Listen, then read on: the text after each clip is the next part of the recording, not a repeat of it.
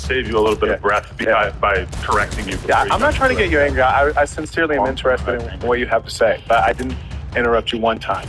And that's when Adam22 decided that enough was enough. And he started clapping back at the host by saying that he's a scam artist and that he doesn't need advice from a scammer. I just, Absolutely on behalf would mean of all the girls, It would mean nothing. I think we all are in kind of an agreement that we don't really want to sit here and listen to someone who's basically a scam artist tell us what's wrong with our lives. what- Amazing. What are you doing? How do On the edge, walking out front, totally. And that's when Adam22 eventually decided to leave the podcast because he simply had enough of the host just completely violating him and his wife.